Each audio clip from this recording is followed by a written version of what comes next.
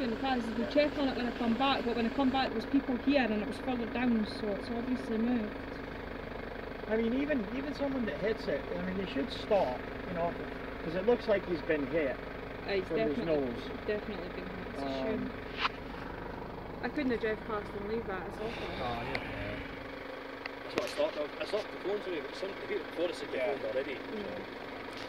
That's the thing. It's just